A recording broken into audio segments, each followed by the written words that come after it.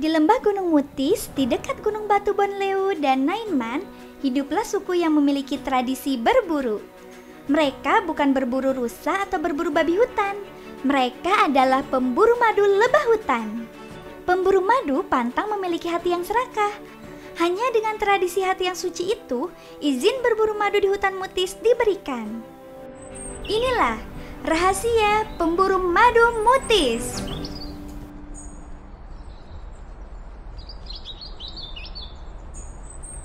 Matahari pagi menyinari desa kecil Bonleu di kaki Gunung Mutis. Bayangan panjang menandakan hari sudah pukul 5 pagi di Bonleu. Namun, matahari pagi bulan Juli belum mampu menghalau dinginnya angin timur dan udara Gunung Mutis.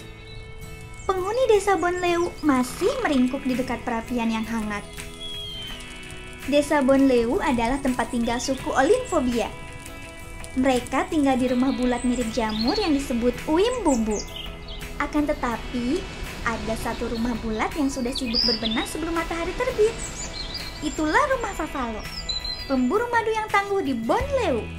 Pagi ini, Favalo akan pergi ke hutan Gunung Mutis untuk memeriksa pohon lebah milik suku Olinfobia. Pohon lebah adalah pohon yang memiliki sarang lebah. Pohon lebah suku Olinfobia berada di wilayah hutan mutis yang bernama Subfabinesi.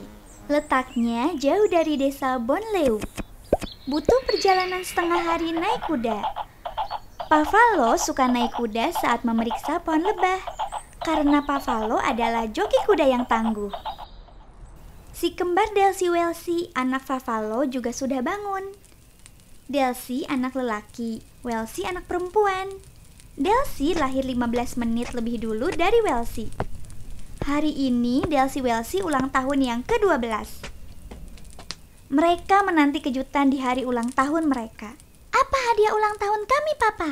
Hadiah ulang tahunnya adalah kalian boleh ikut pergi berburu madu ke Fabinesi. Yeay, asik! Akhirnya kita boleh ikut berburu madu. Aku ingin melihat hutan Fabinesi yang indah. Aku ingin melihat Papa memanjat pohon lebah yang tinggi. Baiklah, kalian bantu Mama menyiapkan perbekalan untuk berburu madu. Papa akan pergi ke sub Fabinesi dulu untuk memeriksa pohon lebah kita. Dan jangan lupa, gembalakan sapi dan kuda ya. Mereka sudah menunggu diajak berburu madu sejak kecil. Pavalo naik kuda meninggalkan Delsi dan Welsi.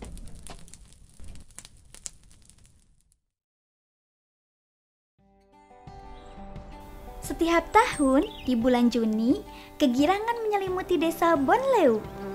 Bulan yang ditunggu-tunggu karena pohon kayu putih di Gunung Mutis berbunga.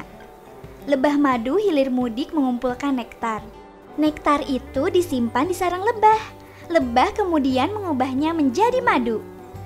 Lebah suka bersarang di dahan-dahan pohon ampupu tertentu di hutan mutis. Suku Olimpobia percaya lebah bersarang di pohon ampupu atas undangan yang maha kuasa.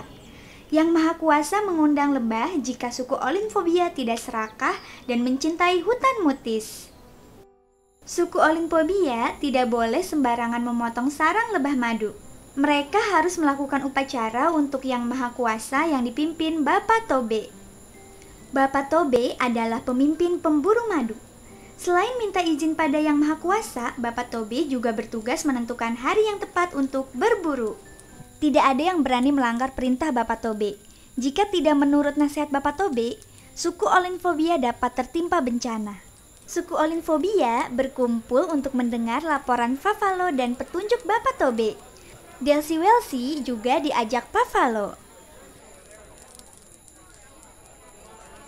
Apakah kalian sudah melihat tetesan madu di semak-semak bawah pohon lebah toh? Sudah Bapak Tobe. Banyak sekali tetesan madu di semak pohon. Hmm, berarti madu sudah siap dipanen. Besok kita berangkat berburu madu. Kita melakukan upacara neketi malam ini. Saya akan siapkan Tobe untuk persembahan panen madu kita. Upacara naketi dilakukan karena suku Olinfobia percaya hutan Gunung Mutis adalah tanah suci. Karena dianggap sebagai sumber kehidupan yang menyediakan makanan, air, obat, kayu cendana yang harum, dan madu yang manis. Oleh karena itu, pemburu madu harus berhati bersih saat berburu madu di hutan mutis. Mereka tidak boleh berhutang kesalahan terhadap orang lain.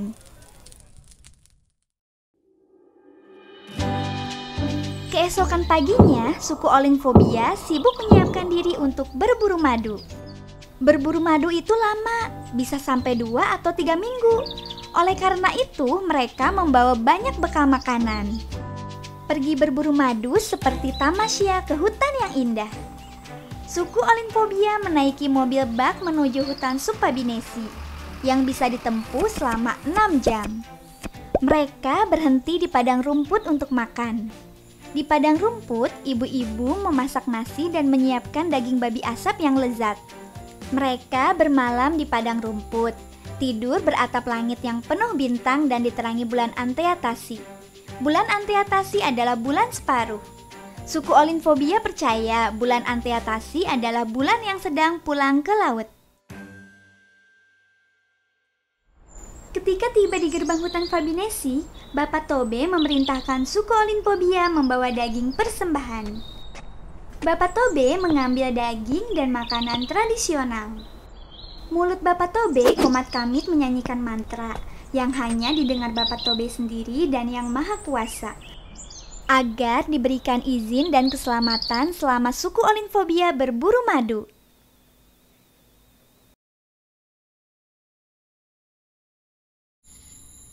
Di malam hari, Pavalo menaiki pohon untuk memotong sarang lebah yang penuh madu.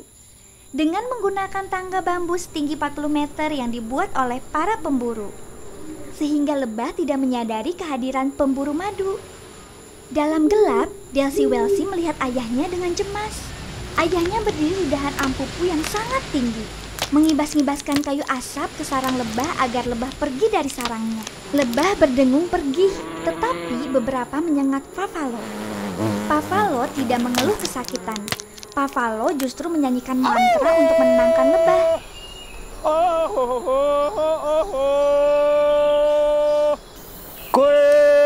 Delsi Welsi dan semua orang yang di bawah pohon ikut menyanyikan mantra agar Favalo selamat dan lebah tidak marah.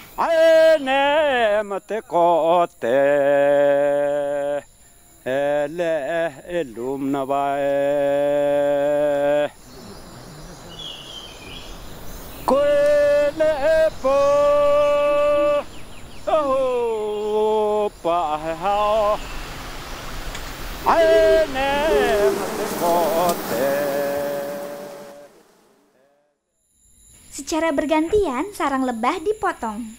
Sarang lebah yang penuh madu ditaruh di ember dan diturunkan dengan tali. Perburuan madu baru berhenti ketika Pajar mulai merekah. Dua minggu kemudian, perburuan madu di hutan Fabinesi selesai. Pavalo dan pemburu lainnya berhasil memanen madu banyak sekali. Berkat lebah madu di hutan mutis, Delcy Welsi dapat makan keladi bersiram madu. Suku Olinfobia dapat menikmati kopi panas dan madu saat sore hari yang dingin. Para pemburu madu juga memperoleh uang untuk membiayai sekolah anak-anaknya. Bapak Tobe menutup panen madu dengan menyanyikan mantra ucapan terima kasih. Mantra itu menuturkan harapan agar lebah datang lagi di pohon lebah milik suku Olinfobia. Pohon kayu putih lebat berbunga dan lebah madu tetap bersarang di pohon-pohon ampupu milik suku Olinfobia. Sepertinya, lebah dan yang maha kuasa menyukai mantra dan hati suci pemburu madu dari Bonleu selama ratusan tahun.